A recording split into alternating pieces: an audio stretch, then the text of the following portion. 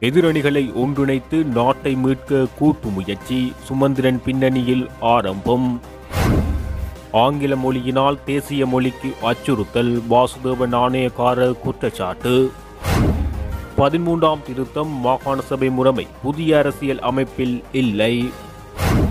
பயங்கரவாத தடை சட்டத்துக்கு பதிலாக புதிய சட்டம் அறிமுகம் ஜிஎல் பீரிஸ் தெரிவிப்பு. இரு பிரதான ஒமிக்ரோன் பிறழ்வுகளின் அலகுகள் அடையாளம் சந்திம ஜீபந்தர இந்தியா தமிழ் மக்களை அவர்களது அடிமைகளாக அடக்கக்கூடாது தர்மலிங்கம் சுரேஷ் தெரிவிப்பு. தமிழ் தேசிய மக்கள் முன்னணி சீனாவின் முகவர்களா? கோவிந்தன் கருணாகரம் கேள்வி. தமிழ் கட்சிகளை தேடி வரும் ஜனாதிபதி கோட்டபாய அறிவிப்பு வெளியானது. சர்வதேச நாணய நிதியத்திடம் சரணடைந்தது இலங்கை. பசில் வெளியிட்டுள்ள கருத்து இலங்கைக்கு ஐநா இறுக்கம் கனா சிங்கர் வெளியிட்ட பதிவு. அரிசிக்காக இந்தியா மற்றும் சீனாவிடம் கையேந்தும் நிலைக்கு வந்துள்ளோம். சஜித் பிரேமதாசா சீற்றம்.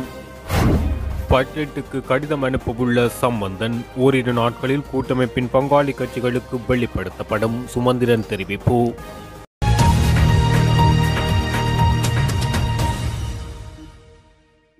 மிக மோசமான பொருளாதார நெருக்கு வாரத்தில் சிக்கியிருக்கும் நாட்டை மீட்டெடுப்பதற்கான கூட்டு முயற்சி ஒன்றை பிரதான எதிர்க்கட்சிகள் ஆரம்பித்துள்ளது. தென்னிலங்கை தரப்புகளின் கோரிக்கைக்கமைய இந்த முயற்சிகள் மைய செயற்பாட்டாளராக ஜனாதிபதி சட்டத்தரணி எம். ஏ. சுமந்திரன் பணியாற்றுகின்றார்.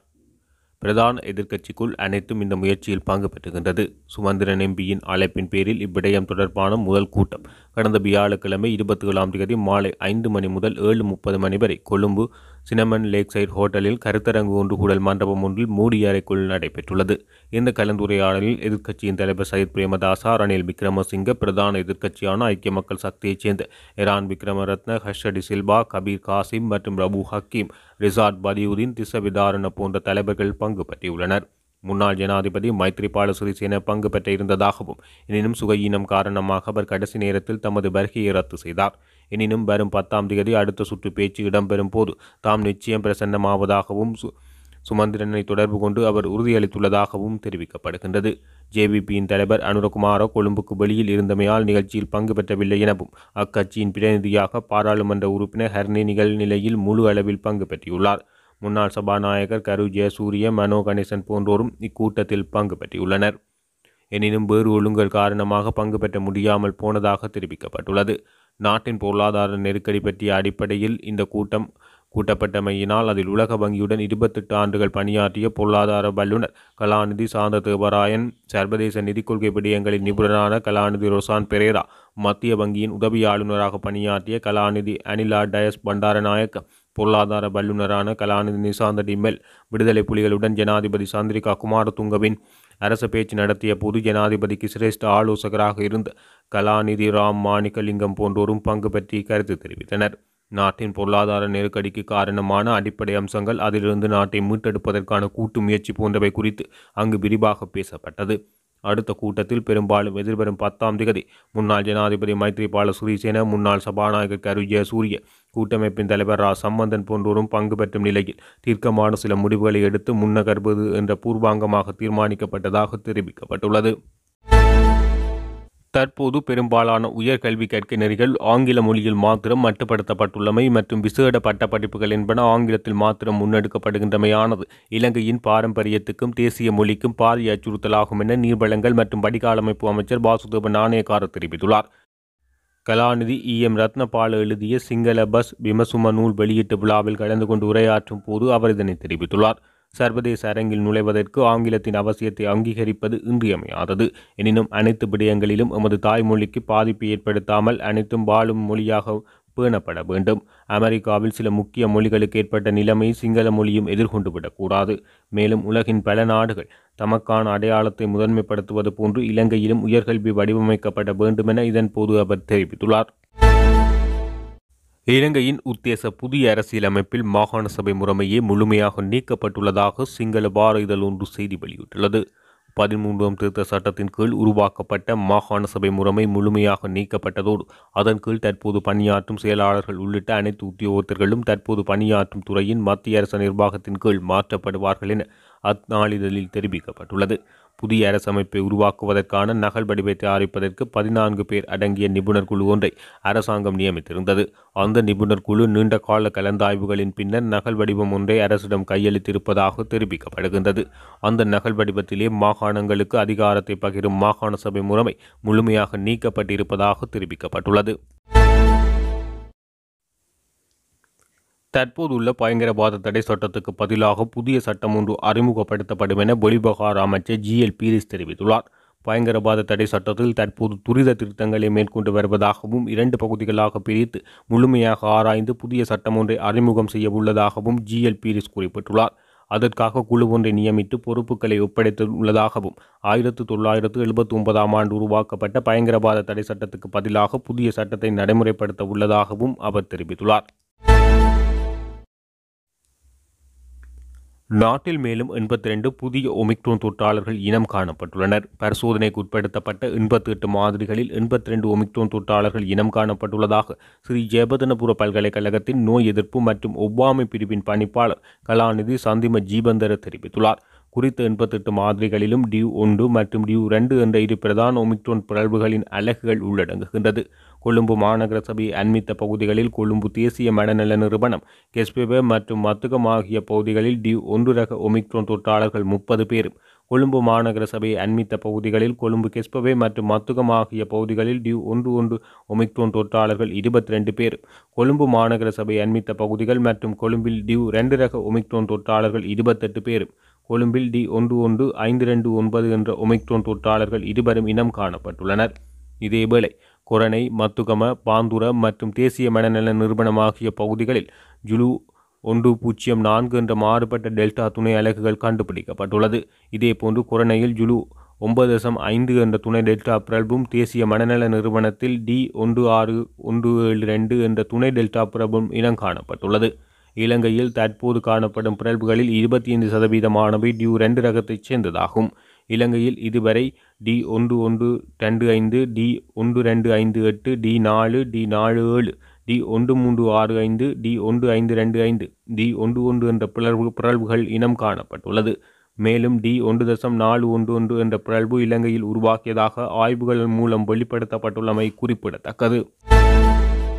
இந்தியா தமிழ் மக்களை அவர்களது அடிமைகளாக அடக்கக்கூடாது. தமிழ் மக்களின் அரசியல் அபிலாசைகள் நன்கு தெரியும். எனவே அதனை அமுல்படுத்தும் விதமாக உங்கள் செயற்பாடு இருக்க வேண்டுமென தமிழ் தேசிய மக்கள் முன்னணியின் தேசிய அமைப்பாளர் தர்மலிங்கம் சுரேஷ் தெரிவித்துள்ளார்.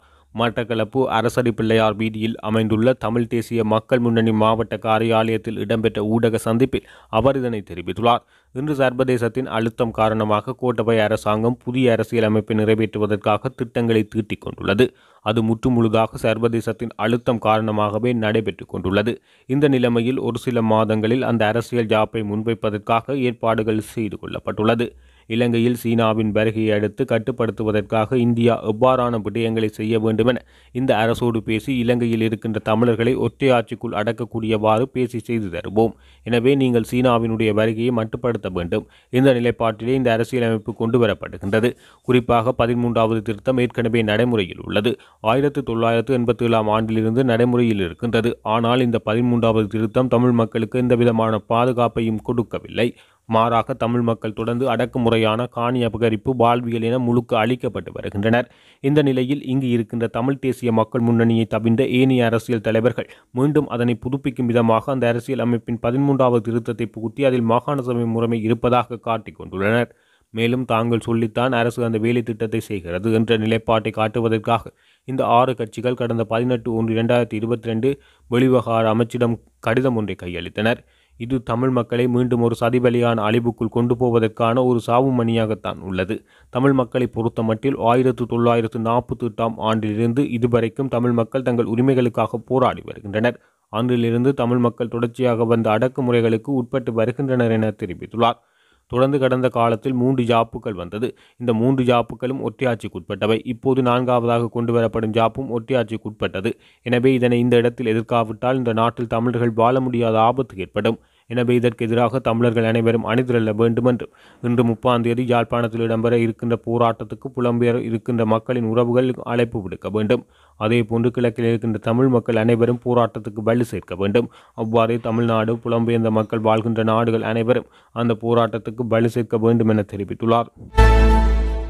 நாங்கள் இந்தியாவின் முகவர்கள் என சித்தரிக்கின்ற தமிழ் தேசிய மக்கள் முன்னணியினர். அப்போது நீங்கள் யாரது முகவர்கள்? நீங்கள் சீனாவின் முகவர்களா? சீனா எதிர்பார்ப்பதைத்தானே நீங்கள் நேரடியாகவும் மறைமுகமாகவும் செய்கிறீர்கள் என தமிழீழ விடுதலை இயக்க செயலாளரும் பாராளுமன்ற உறுப்பினருமான கோவிந்தம் கருணாகரம் தெரிவித்துள்ளார். மட்டக்களப்பு கண்ணகியம்மன் ஆலய வீதியில் அமைந்துள்ள பாராளுமன்ற உறுப்பினரின் காரியாலயத்தில் இடம்பெற்ற ஊடக சந்திப்பில் அவர் இதனை தெரிவித்துள்ளார்.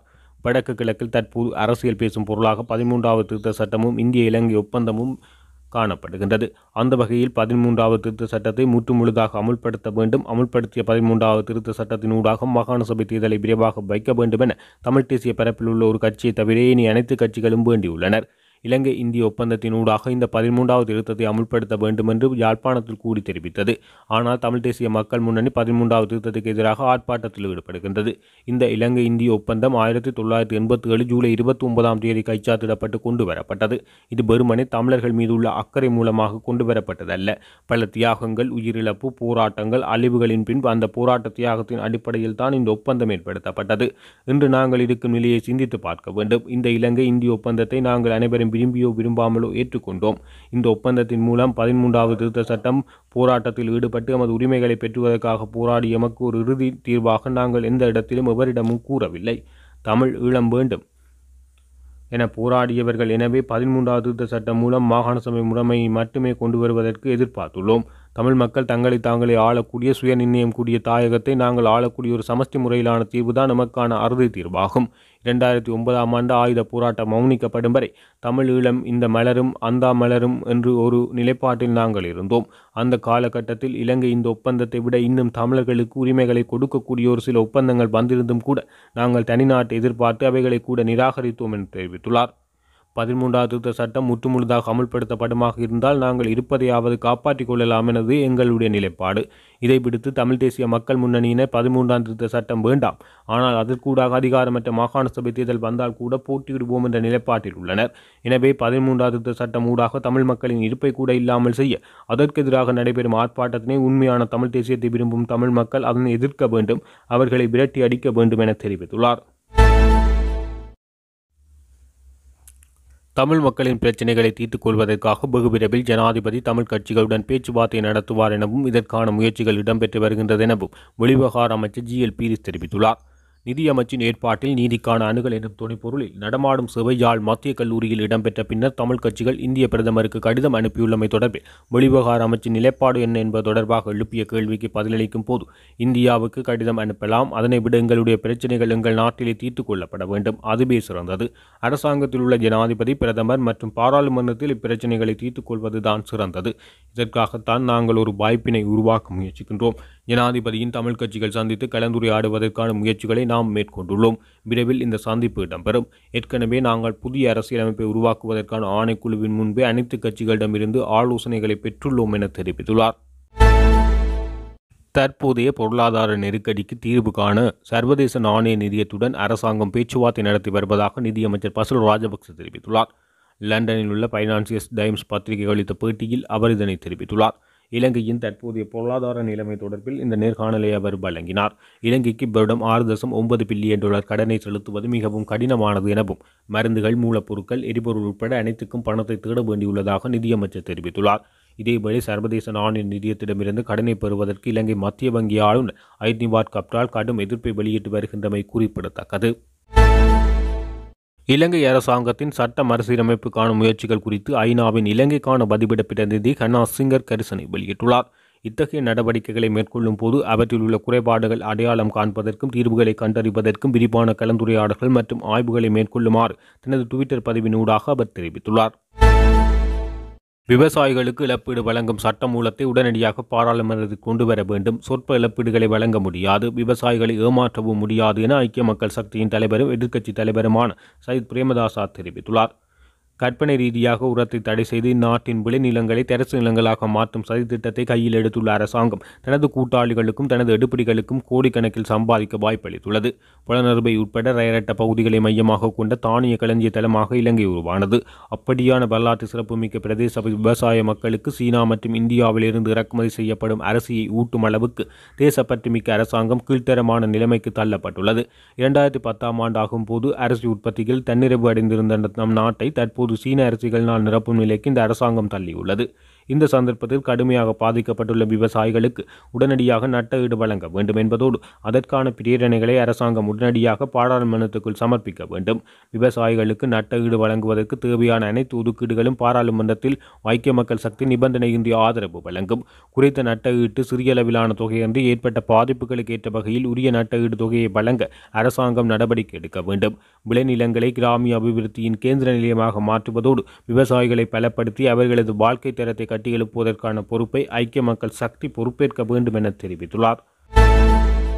இலங்கையில் பொறுப்புக்கூறல் விடயங்களில் அரசாங்கத்தின் பின்னடைவு மற்றும் சர்வதேசத்தை ஏமாற்றும் விதமாக முன்னெடுக்கும் ஏமாற்று நடவடிக்கைகளை சுட்டிக்காட்டி தமிழ் தேசிய கூட்டமைப்பின் தலைவர் ஆர். சம்பந்தன் சில நாட்களில் கடிதம் ஒன்றை ஐக்கிய நாடுகள் மனித உரிமை உயர்ஸ்தானிகள் மிச்சல் பட்லெட்டுக்கு அனுப்பி வைக்கவுள்ளார். ஜெனீவாவுக்கு கடிதம் அனுப்பப்படுவதற்கு முன்னதாக தமிழ் தேசிய கூட்டமைப்பின் பங்காளி கட்சிகளின் தலைவர்கள் மத்தியில் பகிரப்படும் என தமிழ் தேசிய கூட்டமைப்பின் ஊடக பேச்சாளரும் பாராளுமன்ற உறுப்பினருமான எம். ஏ. சுமந்திரன் தெரிவித்துள்ளார். ஜெனீவா கூட்டத்தொடர் மற்றும் சர்வதேச அழுத்தங்களை கருத்தில் கொண்டு அரசாங்கம் எடுக்கும் வேலை திட்டங்கள் குறித்து தமிழ் தேசிய கூட்டமைப்பின் நிலைப்பாடு தொடர்பில் அவர் தெரிவிக்கும் போது இதனை தெரிவித்துள்ளார். இம்முறை ஜெனீவா கூட்டத்தொடர் ஆரம்பிக்கப்படும் வேளையில் இலங்கை குறித்து எழுத்து மூல அறிக்கையாக வெளிவரும் அதனுடன் சேர்ந்து இது சம்பந்தமான விவாதமும் இடம்பெறவுள்ளது. ஆனால் புதிதாக பிரேரணை ஒன்றை நிறைவேற்ற வேண்டிய அவசியமில்லை. இறுதியாக நிறைவேற்றப்பட்ட நாற்பத்தி ஆறு ஒன்று பிரேரணை எதிர்வரும் செப்டம்பர் மாதம் வரையில் செல்லுபடியாகும். ஆகவே நாற்பத்தி ஆறு ஒன்று பிரேரணைக்கு அமைவாக இம்முறை விவாதம் இடம்பெறும். பிரேரணைக்கு அமைவாக இலங்கை அரசாங்கம் முன் முன்னெடுத்துள்ள வேலை திட்டங்களின் அதில் முன்னேற்றம் உள்ளதா இல்லையா என்பது குறித்து விவாதிக்கப்படும். தமிழ் தேசிய கூட்டமைப்பு இந்த விடயத்தில் உரிய தரப்புடன் தொடர்பில் உள்ளது. இந்த விடயங்களில் ஏற்கனவே கடிதம் ஒன்றை தயாரிக்கும் பணிகளில் ஈடுபட்டுள்ளோம். சம்பந்தன் கையொப்பத்துடன் சர்வதேச மனித உரிமைகள் உயர்ஸ்தானிகருக்கு கடிதத்தை விரைவில் அனுப்பி வைப்பார். தொடர்ச்சியாக நாம் தொலைபேசி உரையாடல்களில் இந்த விடயங்களை கலந்துரையாடி வருகின்றோம். இரண்டாயிரத்தி பன்னெண்டாம் ஆண்டிலிருந்து எமது நிலைப்பாட்டை மனித உரிமைகள் பேரவைக்கும் அங்கத்துவ நாடுகளுக்கும் மனித உரிமைகள் உயர்ஸ்தானிகருக்கும் தெரியப்படுத்தும் செயற்பாடு முன்னெடுக்கப்படுகின்றது. சம்பந்தன் இதனை முன்னெடுத்து வருகின்றார். ஆகவே இப்போது வளமையான ஒரு விடயமாக இது மாறியுள்ளது. அதே வழிமுறையில் கடிதம் ஒன்று தயாரிக்கப்பட்டுள்ளது. ஒரு சில நாட்களில் இந்த கடிதத்தை தமிழ் தேசிய கூட்டமைப்பின் பங்காளி கட்சிகளின் தலைவர்களுக்கு அனுப்பி வைப்பேன். அதன் பின்னர் கடிதம் மனித உரிமை உயர்ஸ்தானிகருக்கு அனுப்பி வைக்கப்படும் என தெரிவிக்கப்பட்டுள்ளது. எமது தீர்வு குறித்து கவனம் செலுத்துமாறு இந்தியா உள்ளிட்ட சில நாடுகள் வலியுறுத்துகின்றன. அமெரிக்கா இந்த விடயத்தை கலந்துரையாடி வருகின்றது. அவ்வாறான நிலையில் அவர்களுக்குள்ளேயும் ஒரு இணக்கப்பாடும் ஒழுங்குமுறையும் ஏற்படும். மார்ச் மாதம் மனித உரிமைகள் பேரவையின் கூட்டத்தொடர் இடம்பெறும் வேளையில் இந்தியா ஒரு பக்கமும் ஏனைய மேற்கு நாடுகள் இன்னொரு பக்கமுமாக சேர்ந்து ஒரு முயற்சி எடுப்பார்கள் என எதிர்பார்ப்பதாக தெரிவித்துள்ளார்.